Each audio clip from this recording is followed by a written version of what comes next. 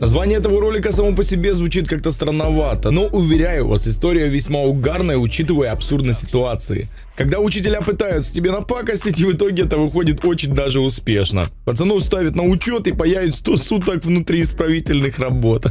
И такое чувство, что это происходит не в школе, а в каком-то режимном объекте. Я знаю, что рубрика истории наших зрителей вам по душе, поэтому давайте соберем 15 тысяч лайков, и новая история не заставит себя долго ждать. Короче, я уверен, что у многих из вас бывали ситуации, когда вы совершали обмен в школе. Выгодный, не очень, неважно.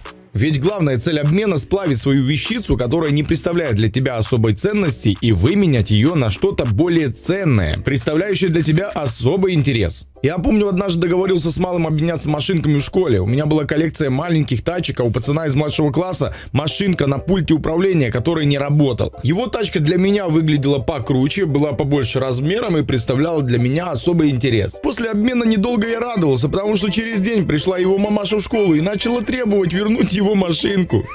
А этот тупой гусь мамке сказал, что взамен я ему вроде ничего и не давала. А бить его на глазах мамки было бы неправильно. Потому я пообещал, что верну его машинку уже на следующий день. По сути, товар стоил не так дорого, но терять тачки, учитывая, что это единственные игрушки в твоем ассортименте, сами понимаете, как обидно. Это также, наверное, как отжать у школьника его единственный смартфон, на который он копил с обеда. Выбора у меня, естественно, не было, и я не хотел, чтобы в эту мелочь втягивали родители, потому отдал этому балаболу его машинку с пультом, предварительно покатав ее в сарае сарае, где жили свиньи. Сказать, что малый был в шоке, ничего не сказать. Я помню только, как долго он вытирал ее от травы, чтобы потом положить в руках и отнести домой.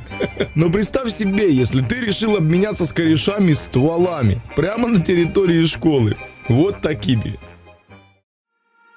Только это обычный детский игрушечный пистоль с закосом под металл для юного гангстера, который был подарен юноше отцом. И никакой опасности, собственно, не представляет. Более того, это обычный пластиковый макет пистолета, который был сломан. Короче, чувак меняет его на копилку и становится счастливым владельцем этого детского нагана. Через какое-то время этот ган замечает кореш и предлагает выкупить, но главный герой, назовем его Вася, не соглашается, чтобы не привлекать внимание. И тогда Типуля предлагает Васе дрифтовую ламбу на пульте, от которой бы, наверное, я не не отказался. Короче, Вася с Ламбой и Карифан с Наганом уходят на спокойнике домой. На следующий день Вася на втором уроке слышит свою фамилию, мол, типа встал и вышел. Тот в недоумении в кабинет директора, и тут директриса со стволом в руках такая, это тебе ничего не напоминает?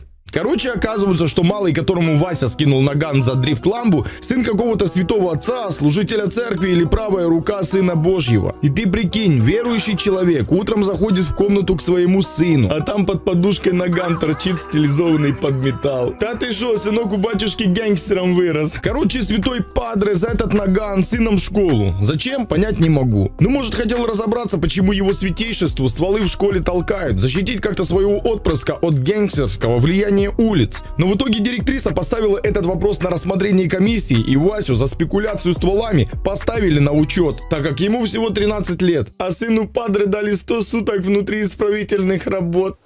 Voy a la playa, había subido la marea.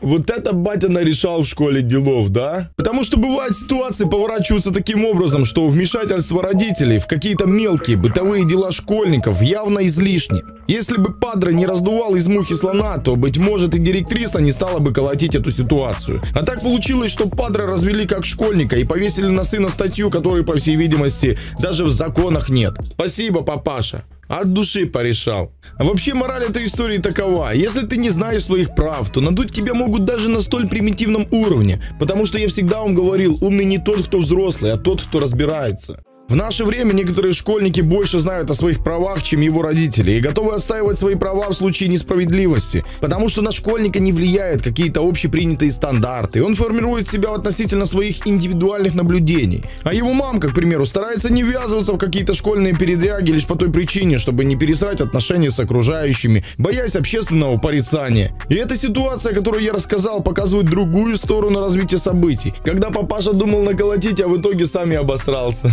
Так что что если вы действительно понимаете, что правда на вашей стороне, идите до конца. Но если есть сомнения, лучше переварить ситуацию еще раз, чем обосраться при первой же возможности. Потому что когда я учился в школе, у нас было, ну, два типажа родителей. Первые это те, которые, ну, хоть что-то могли порешать, и вторые, которые вообще практически не вмешивались в ситуацию. Вот они, они приходят и такие, ну, вот им вешают там лапшу на уши, и они такие даже не разбираются. Ну, знаете, есть такие люди неконфликтные. Вот, вот они себя называют неконфликтными, потому что, ну, может, они берегут действительно нервы свои, и, может быть, они умнее, чем мы с вами, да? Но с другой-то стороны, вот пока ты молчишь, пока ты умалчиваешь, и пока вот ты сидишь, сука, на одном месте и думаешь, что вот проблемы сами порешаются, пока ты будешь молчать, и кто-то там научится читать твои мысли, то это совершенно не так. Но если ты в натуре не разбираешься, вот какие права имеет твой сын в этом школьном заведении, зачем ты вообще туда идешь, чтобы разбираться? Чуваку толкнули обычный игрушечный пистолет. Так директриса, слышишь, дела его просто и наказала. Так что да, бывают и такие случаи, когда есть смысл, ну, десяточек раз подумать, чем один раз взять и сделать. Так что возьмите себе это на заметку. Если видосик вам понравился, обязательно ставьте лайки, делитесь им с друзьями. И совсем скоро будет поход в Припять, ребят. Я просто коплю сейчас на новую технику, так что все скоро увидите. Предлагаю вам посмотреть пару кадров с улицы. Привет. Собака уже, ребята, соскучилась и хочет идти в лес, да? Жушка, ох ты, собака. Красавица, да? Ты уже с растяном хочешь в лес идти кушать, да, а то ведь... Молодец, смотри какая. Соскучилась, да? Короче, друзья, потеплело. Э, сейчас уже у нас вроде плюс 12. В общем, поход в Чернобыль планируется на начало, где-то середину марта. Я думаю, если не подведет погода, то будет все круто. Почему запоздал? Ну, во-первых, болел, во-вторых, не было возможности. Сейчас коплю на нормальную камеру. Хочу поменять еще коптер, чтобы поехать снять э, Чернобыль с высоты, ну, в хорошем, и, точнее, идеальном идеальном качестве, да, и для этого нужна хорошая камера новая и хороший коптер, так что, ну, если в прошлый раз я ездил еще-то, ну, так себе было качество, то в этот раз будет вообще, вообще просто топчик. Приехал, кстати, мой Rode Wireless Go, вы помните, я рассказывал, что у меня просто перестали они заряжаться, эти микрофоны, теперь заменили мне их по гарантии, то есть будет беспроводной звук нормальный, порядочный. Э, мотоцикл, мотоцикл ждет весны, будет работать, будем там там строить э, лесную избу, короче, дом, шалаш, я не знаю, как его назвать. Ну и, конечно же, видео 360. Так что, ребят, фу, потеплела весна, теперь хочется хоть что-то делать. Потому что, когда было холодно, вообще такой, знаешь, хочется сидеть в кабине, да, и вообще никуда не высовываться. Правда, еще, слышишь, хриплю, не могу никак вычухаться. Все, тогда будем на связи. Спасибо за внимание. А, видео по дому. Что вы хотели увидеть по дому? Видос какой по дому пишите, потому что я ничего, ну, пока не собираюсь собираюсь делать, то есть видео дом за 300 баксов, там я думаю планирую просто э, навес сделать, а этот участок, видишь, вот этот соседний и возможно вот тот я просто куплю, чтобы они были мои, то есть, ну, я, получается, объединю такую большую территорию и тут у меня будет огород, понял? Вот тут такой огородик, короче, потому что тут земля чернозем, видишь, какая черная, то есть, ну, готова уже под посадку.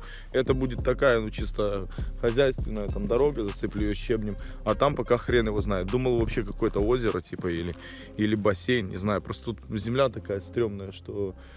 Ну, в общем, посмотрим. Как вам такая идея? Закупить вот три участка, собрать их воедино и скооперироваться, да, чтобы было больше территории, соответственно, за, загородиться, и уже можно будет тут что-то строить. Ну, цел, целую студию, так скажем, да, стриминговую. Все, рад был вас видеть, точнее, читать. Увидимся скоро. Йо.